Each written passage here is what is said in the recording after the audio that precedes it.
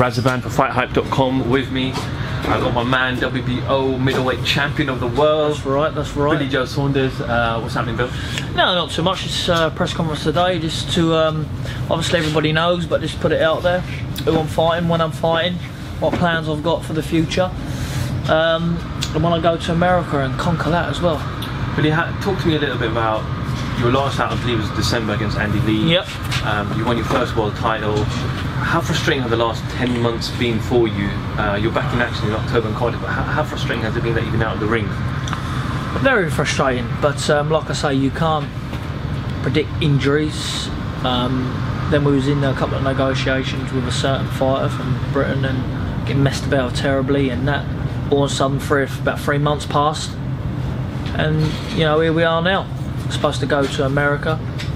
Um, supposed to go to America. No names was put to me, only the name that I wanted. Um, so yeah, that was about it. I have Rosado put to me, but obviously he's so good. I ducked him because he's unbelievably good.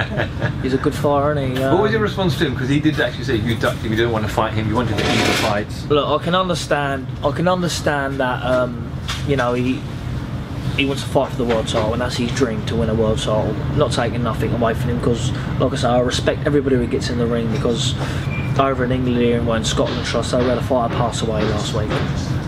So I respect everybody who gets in the ring, but when he starts saying that I'm frightened of him, I ducked him.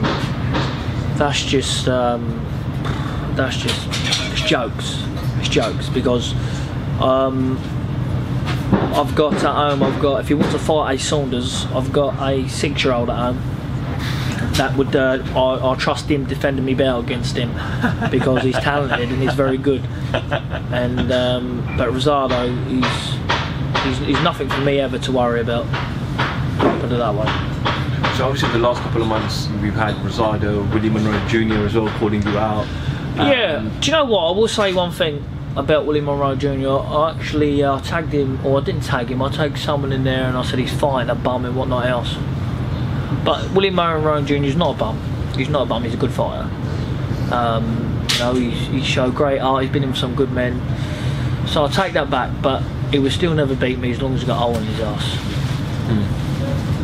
And obviously, you know, the, the media's been quite critical as well. We know we'll come to Tyson Fury shortly, but as boxers, do you sometimes feel like you don't get appreciated and it's always negative criticism from the media? I know Dan Rafael and yourself had a back and forth on Twitter. But yeah, I, I think that boxers don't get enough credit because listen, we put our life on the line every time we get in the ring, every single time. And every time we get in the ring, every single time we get in the ring, we put our life on the line. And um, you know, we, we could go home to our families, we could not. But I know the risk of that, and I think people just need to respect fighters a bit more.